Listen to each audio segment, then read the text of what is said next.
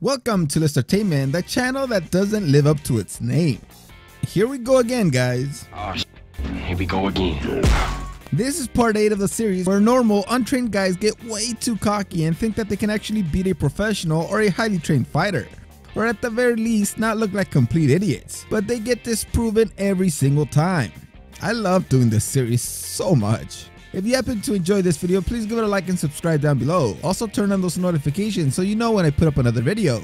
And please let me know in the comments if you know of other occasions where people challenge pros that I have not included yet, since I want to continue making this series.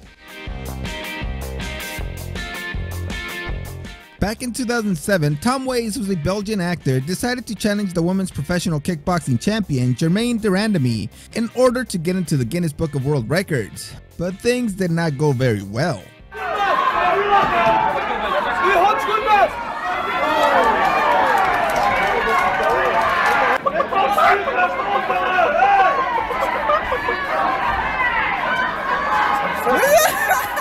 Tom trained for three months for this fight, but it just wasn't enough because he didn't really use anything he learned. He mostly tried to use his bigger size to push Germaine around the ring. He tried to come out with everything in the last round to get the win, but as they both connected with a right punch, de Randamie was the one that got the knockout and won the fight.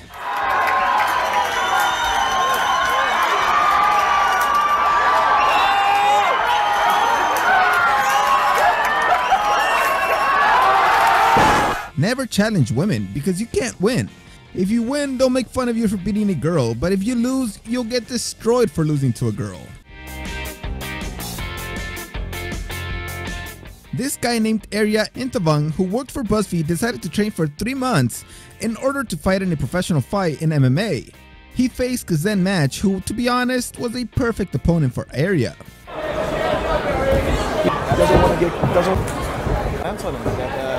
Kind of alludes to some other mixed martial arts training before this. They both seem to be pretty conservative in this fight with pretty bad jabs and punches, since they weren't committing to getting them to land with power. Arya held his head really high up. And then at some point he remembered that he had to keep his hands up and he would do it, but then he would forget again. Okay, he's in trouble here though. Absolutely. I can't see the other hand of Kason how, how well locked up it is deep. It is deep. Oh, he went all the way out. Choked him all the way out. Then he got beat with a guillotine choke. Why? Because three months is not enough time to learn to strike, let alone how to get free from all the different type of chokeholds that exist. According to the comment by the person who posted this video, the giant guy in red came into this gym in Philadelphia and claimed to be a pro in Muay Thai and MMA and he was from Russia and he wanted to spar with somebody from the gym. Well, Hack the Incredible faced off with him.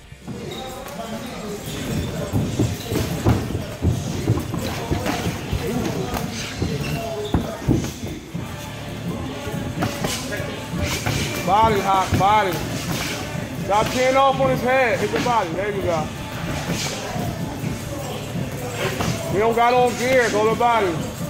The guy in red started going really hard, so the smaller guy matched his intensity and taught him a good lesson, which is that in sparring, you're supposed to hit as hard as you are willing to get hit. Good.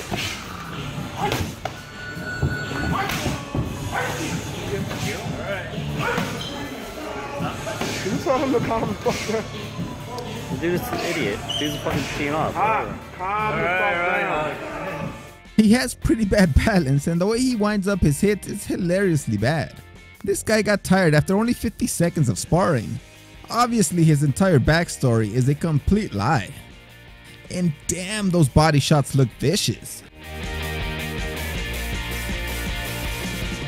Now we have four more YouTubers who decided that it would be fun to make a video challenging a professional MMA fighter, and in this case it was Miesha Tate, the former UFC champion. The YouTubers are from the channel Geneskians who stated that Tate offered them 2 minutes each to see how many times she could make them tap. And well, she made each one of them tap out multiple times.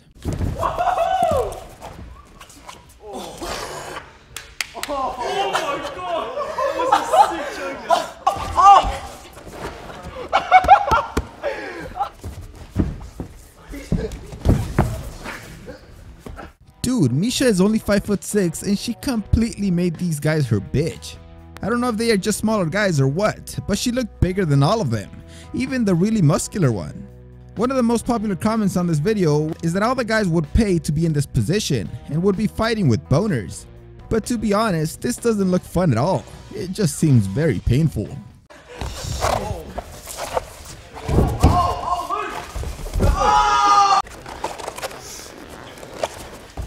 Hand there. Keep your hand there. Top, oh! top. Now we have a kung fu master named Kai Tran who decided to challenge a much younger and smaller pro MMA fighter named Nam Phan. You will be able to see exactly what the problem is with many martial arts when you see this video. That kung fu guy actually started pretty good using his bigger size to smother the smaller man, landing some big shots. But he doesn't have his hands up at all. He gets hit to the face but still doesn't put up his hands. I wonder if this is actually something he learned in Kung Fu or he's just too confident and doesn't think he's going to get hurt. But he learned a lesson in the end.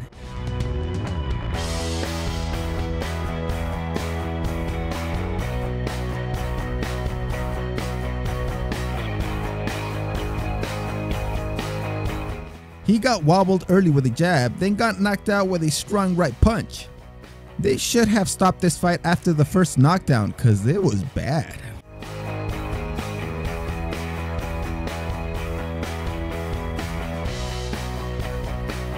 This is supposed to be one of those funny Japanese videos where a comedian takes on a pro, which in this case is the scary Cris Cyborg.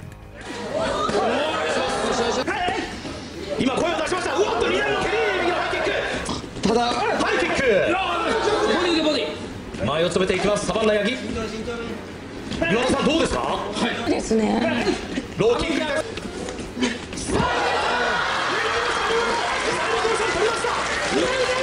いや桜庭さんいいんじゃないですかうまいですねよしよしよし首取りますこれをダブって首取っています首に腕が絡んでいるサバンナ I kind of think this guy has had some kind of training before because he doesn't look that bad and does a pretty good job at blocking many of the hits and kicks that would have landed on many untrained fighters pretty easily. どうかスタミナがポイントになるかなんといっても自ら引き込む形 He then got hurt with a kick to the body which made him try to take her down. But come on man, she's highly trained in Brazilian Jiu-Jitsu.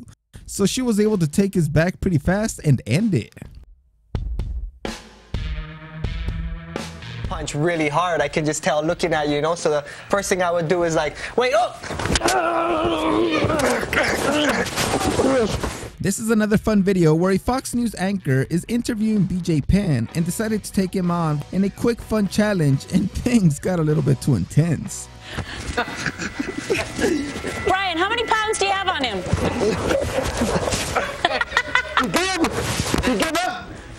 hey, that's pretty strong. That's pretty strong. I, towel. Let me get a towel. Here, I gotta throw my coat in.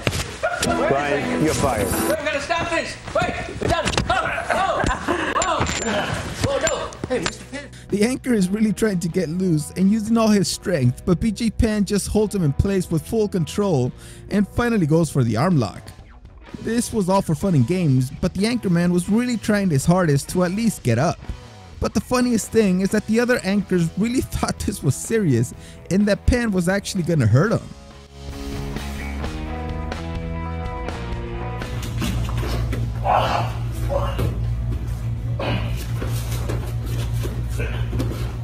Be in big trouble. This is a fight. Be in huge trouble.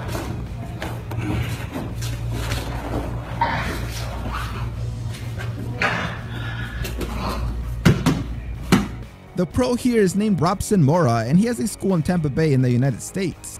This big guy walked into the school and challenged anyone in there to a fight for $20. Well, Robson takes the challenge and tells him that he will beat him in 5 minutes, and when he does, he must sign up as a new student.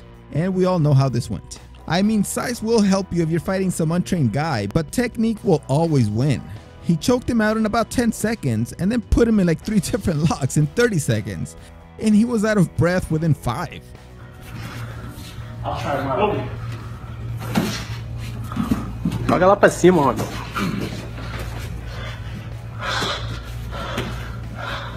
Okay, all right, all right. I see where that's going. Whoa. Oh. Let's go. You tell.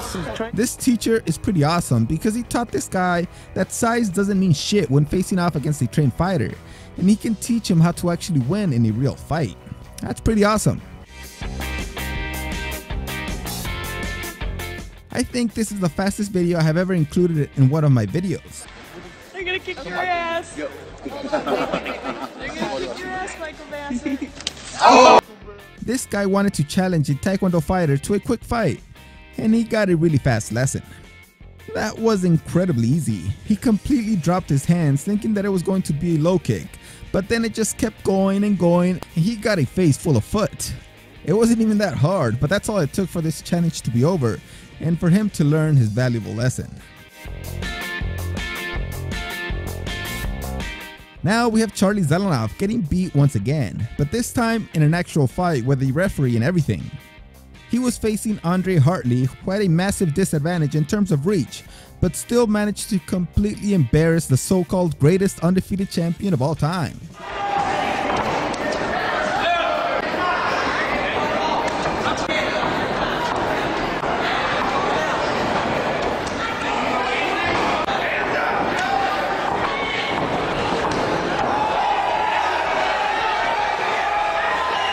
I'm not gonna sit here and say that Hartley is a great boxer, but he was way better than Charlie. You can even see him here trying to pull off one of those disappearing acts, but realized he couldn't just run away. Then he tried to surprise Andrew, but again, he can't do that in a real fight because the referee stopped him.